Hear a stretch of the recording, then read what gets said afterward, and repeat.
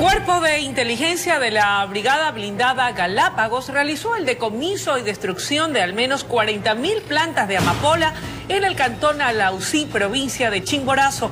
La policía investiga quiénes son los propietarios de los terrenos donde fueron halladas las plantaciones ilícitas. Nuevamente la llamada amapola o dormidera ha brotado en los campos de Huasuntos, Cantón Alausí, a 3.800 metros sobre el nivel del mar. Personal militar conjuntamente con Fiscalía iniciaron con su erradicación. En este cantón, todos los años en esta fecha me parece que hacen este, estos operativos y la extracción y destrucción de esta planta. Varios son los terrenos donde los uniformados incautaron la amapola. Existen dos hipótesis. Una, que crezca de forma silvestre o que haya sido sembrado.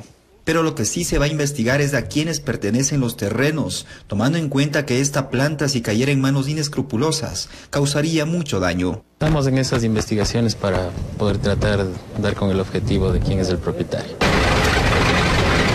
Al menos 90 efectivos militares se desplazaron por un agreste camino para poder arrancar de raíz la planta. Hay que recordar que de la amapola luego de un proceso podrían refinar el opio y la heroína.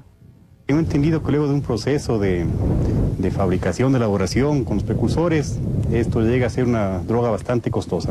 Luego de varias horas de arduo trabajo, al menos 40.000 plantas fueron incineradas. Con esto se evitará que se proliferen, ya que estos operativos serán constantes. Además, en lo que va del año, se han destruido cerca de 150.000 plantas. En Chimborazo informó Darwin Altamirano.